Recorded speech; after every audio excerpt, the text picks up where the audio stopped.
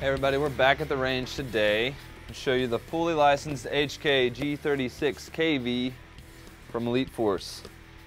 In the box, everybody gets an owner's manual, registration and warranty cards. Make sure you fill that out, send it in. This gun comes complete with a full one year warranty. Everybody gets a high cap mag. Gun itself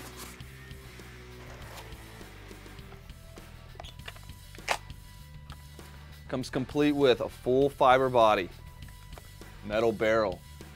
The shroud itself is grooved for bipods. Functioning charging handle which exposes your hop up. An integrated optic. Comes complete with an added metal accessory rail for any red dots or optics that you would like to add. It does have ambidextrous switches. And the HK style adjustable and folding stock. It also comes complete with the holes pre-drilled for all your body pins when working on your gun.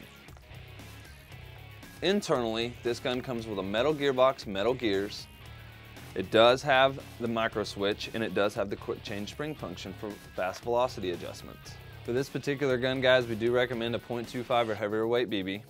I'm gonna show you how to replace your battery. In the front of your shroud, simply press and remove the body pin. Slide the shroud back, expose your wire. Plug your battery in. Slide it into place. Make sure to keep these wires out of the way so they don't get crimped or caught on anything.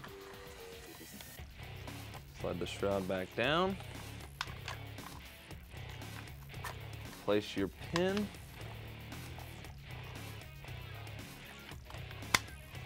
And you're good to go.